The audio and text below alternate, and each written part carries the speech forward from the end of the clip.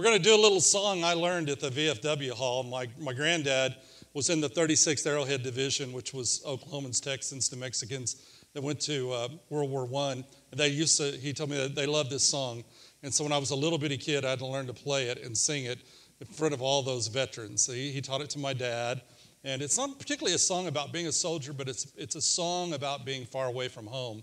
And, uh, and then in the 70s, during the Vietnam era, another verse was added that is about being a soldier 500 miles.